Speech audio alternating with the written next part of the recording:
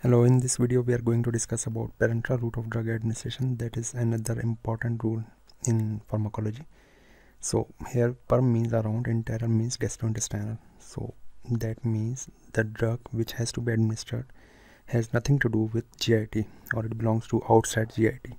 When we administer any drug by means of IV administration or parenteral route that shows that drug directly goes into the systemic circulation and it has nothing to absorb or nothing to do in the gastrointestinal tract. That means drugs in, in, drug is injected directly into the blood circulation or systemic circulation. Then we have type of parenteral route. The number one is the intravenous the most important by which we mean administration into the vein then intramuscular into the muscles then subcutaneous into the under the skin. Then we have intradermal that means into the skin intraperitoneal IP which means the drug into the peritoneum. Then we have uh, intraarterial which means into the arteries. Then we have intrathecal that shows spinal fluid. Then we have intraspinal which means to be administered into the spinal cord column. Then we have intrasynovial that means joint fluid area. Then we have intraarticular that means injection into the joints.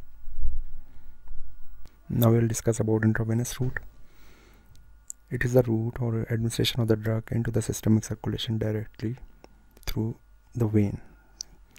Then we have two base main types. The first one is the bolus and second one is the infusion. I have written over here the small circle and the larger circle. So bolus means drugs injected into the vein over a short period of the time for the small volume. So this small circle means small volume and drugs injected into the blood into the vein over a longer period of the time for larger volume are administered. So that's why I have made a larger circle for infusion. So here is another graphical representation. Big one means infusion and the smaller one means bolus. So now you people can understand the basics of bolus and infusion difference.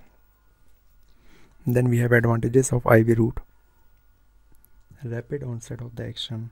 The first one first the merit or the advantage of the IV route then we have it is the route of emergency means choice of route in a case of emergency drugs that are not effective orally drugs that are destroyed in GIT like we are having insulin. It avoids degradation of the drugs in the liver which is termed as first pass effect. It is best for unconscious patients. Irritant drugs can be administered by this route. Larger volume can be injected by this route then we have disadvantages of IV route. By mean disadvantages we mean that skilled staff or personnel is required for administration of the drug means no one can administer him or herself mm, by using this route.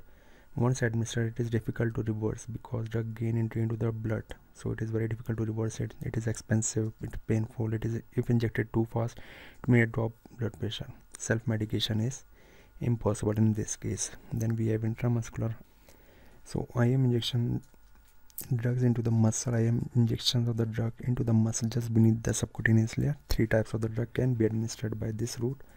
The number one is aqueous oleaginous solution or suspension of the drugs. Uh, relative rapid onset of the action. Generally the action or the onset of the action starts 30 minutes later. Rate of absorption depend on formulation. This is the important point which i want to discuss earlier but here is the explanation Rate of absorption depend on formulation. Mean formulation means dosage form of the drug. In some books there is written depot preparation. So do not confuse about depot preparation. What are these? These are oil based preparations. And in some books there is written aqueous solution or water based. So both are the same. So when we have oil based preparations, formulations or depot preparations or formulation, the absorption is slow.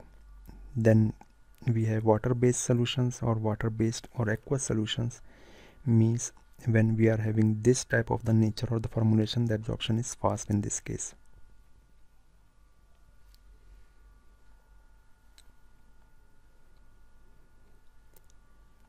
Now we have site of actions for intramuscular that is upper arm thighs and buttocks.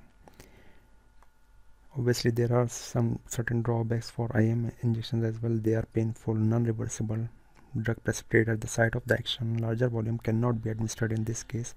Abscess formation and self administration is not possible in this case. Then we have subcutaneous also known as SC or SQ route of administration. This is the route which comes or which meant below or under the skin or between the dermis and the muscle.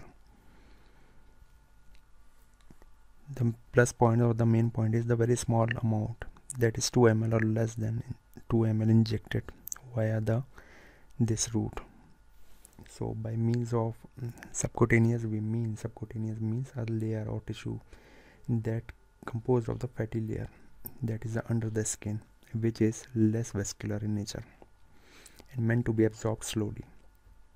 Self-medication is the key in this route because like you people might have heard the in injection of the insulin which is taken by the patient him or herself directly under the thighs or the abdomen area. So that that shows that clearly shows that it is uh, the self administration is possible in this route.